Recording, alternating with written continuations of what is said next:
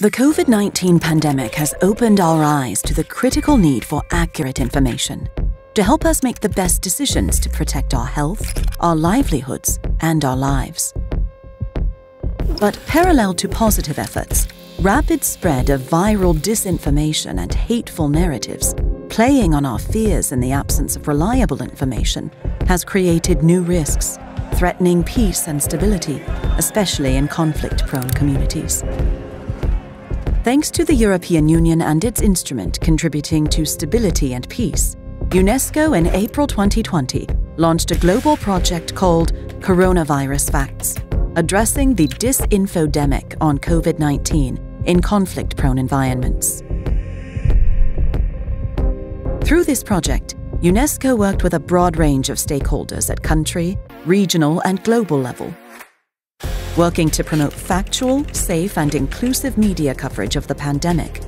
The project has enabled online courses and localized training, reaching over 27,000 media professionals, fact checkers, and communicators in 157 countries. Through the project, journalists have formed lasting professional exchange networks.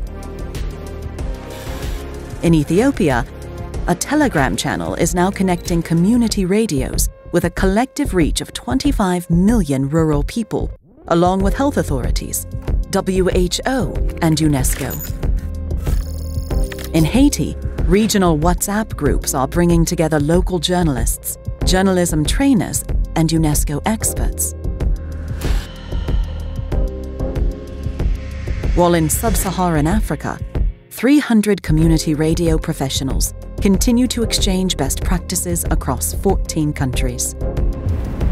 The project has supported a range of new resources to help journalists cover the pandemic. Among them, a global resource center in seven languages, safety guidelines, a health misinformation fact checking toolkit for African journalists, and a database of key African experts on COVID 19 and non communicable diseases fact checkers have taken on an important role during the pandemic, and the project has empowered them with skills and networking opportunities. For instance, in West Africa, fact checkers trained established a joint network across eight countries, while over 12,000 practitioners in Iraq have joined dedicated Facebook groups to debunk false information. In Latin America and the Caribbean, UNESCO and 35 fact checking organizations launched a special COVID 19 resource hub. To reach out in rural areas, community media outlets have been supported to disseminate information in more than 30 different languages.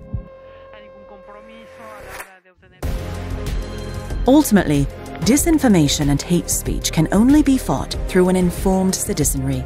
The project has been helping influencers, bloggers, and CSOs to build citizens' media information and literacy skills. With governments playing a critical role in protecting the health of their citizens, the project supported cooperation between authorities and journalists. In Iraq, the Ministry of Interior set up a hotline for the safety of women journalists for help and health advice. In Zimbabwe, the project helped to spur on the government's decision to establish three new community radio stations. The engagement of thousands of stakeholders from around the world in this project and their continued commitment to innovate, exchange, and build on their experiences has been an incredible added value. It has led to new resources and ways of working that will live on beyond the project and contribute to build more informed societies.